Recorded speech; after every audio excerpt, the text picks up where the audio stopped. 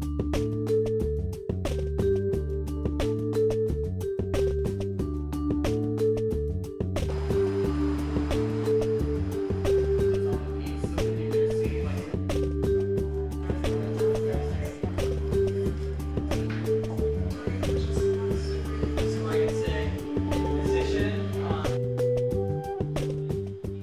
The project I've been working on is called Pixel Shaders, and it's a, an interactive book about programming the graphics processor, the GPU, um, targeted at artists and beginner programmers and creative explorers of all types.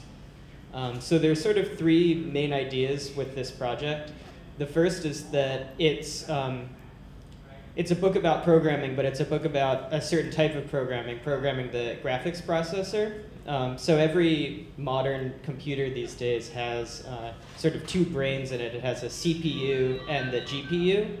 The CPU is the central processing unit, and the GPU is this new graphics processing unit. Even phones have this, smartphones. Um, so um, the, the difference with the GPU is that it has thousands of cores. So the CPU is like, it's very fast, but it does one thing at a time. So you're used to having these long these long programs that do um, you know one line after another. But the GPU, there are thousands of cores. So um, for example, in a pixel shader, you can think of every single pixel on the screen as being an independent computer.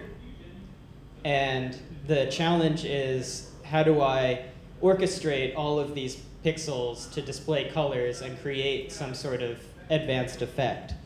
Um, so um, just to give some examples, um, this is like what a, what a pixel shader looks like, the code. Um, you can see it's not too much code to create this, um, this gradient. Um, but basically, this program gets run for every single pixel individually, and then that creates whatever the image is. Uh, and then you can do um, much more fancy things. Um, and it, it also runs very fast because every pixel is doing its computation independently, so it can run at 60 frames per second, it uses less energy. Um, so this is really the programming of the future, I think, is parallel programming. Um, it's not only used for graphics, but um, for example, doing a uh, CT scan reconstruction, people are using GPUs because that sort of problem is very parallelizable. So with this book, I'm trying to bring um, this parallel programming idea into the next generation of programmers. I think the next generation needs to be learning these types of algorithms rather than the old types of algorithms. Um, so that's the first idea. The second idea is the audience. So this is a book for artists. And um, basically all GPU learning resources right now that exist are targeted at people who are already expert programmers and just want to start programming the GPU.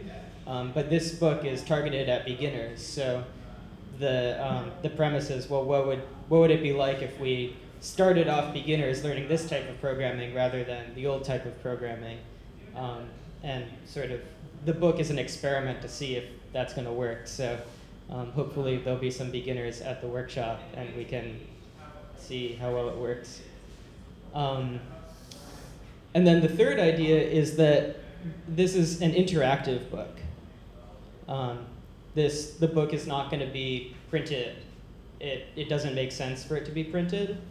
Um, the reason for that is that um, throughout the book are these interactive examples, and you can change these examples to sort of see how they work. And uh, that's sort of the whole point is that you can you can mess around with them and and see what you can do. Um, and then by messing around with them, it helps you understand what's going on in the code.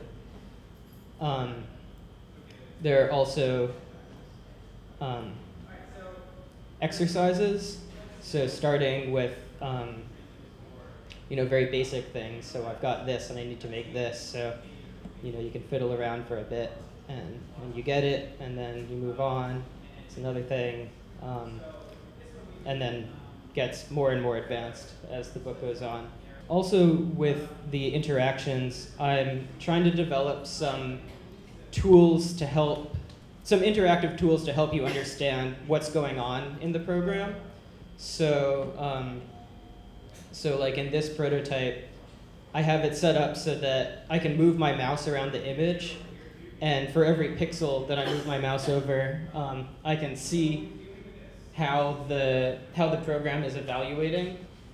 Um, and then I also have this visualization with this uh, the this green line and the red circle, and those are showing me where this um, I don't know if it's easily seen, but this red line and this green line, where those values are the same across your image. Um, another example of an interactive tool.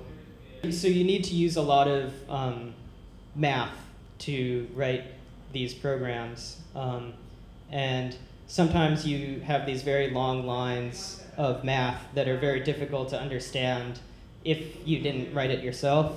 So like this, this line is, you know, sort of impenetrable, but if we put it into this um, graph editor, we can see um, what exactly that formula is, but then we can also break it down so we can um, sort of see how it was created.